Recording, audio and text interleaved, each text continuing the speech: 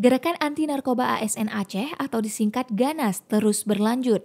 Hari ini, giliran sebanyak 681 personil satuan pengamanan yang bertugas di seluruh satuan kerja perangkat Aceh menjalani tes narkoba di Anjong Monmata, Komplek Meligo, Gubernur Aceh.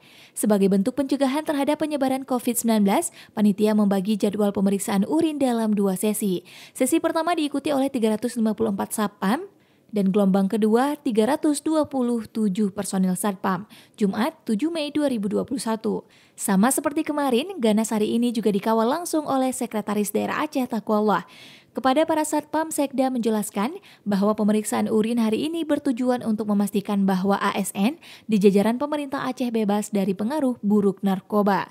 Dalam sambutannya, Sekda juga mengapresiasi dukungan BNN Aceh pada gerakan Ganas ini. Sekda menegaskan gerakan Ganas ini merupakan bentuk dukungan pemerintah Aceh terhadap Badan Narkotika Nasional Aceh dalam upaya pencegahan peredaran dan penyalahgunaan narkoba terutama dalam wilayah Aceh. Saat meluncurkan Ganas, gubernur mengingatkan kita para abdi negara agar terlibat aktif serta menunjukkan ketauladanan pada upaya-upaya pencegahan narkoba.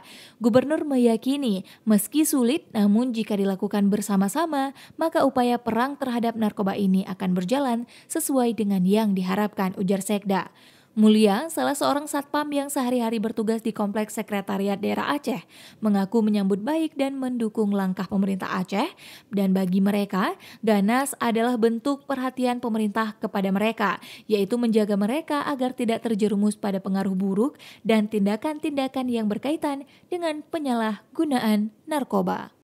Nama saya Mulia, saya sangat mendukung dengan kegiatan yang dilakukan pemerintah Aceh bekerjasama dengan BNN dalam mengantisipasi atas penyalahgunaan narkoba dan nantinya semoga rakyat Indonesia khususnya Aceh terbebas dari pemakaian barang haram yang namanya narkoba.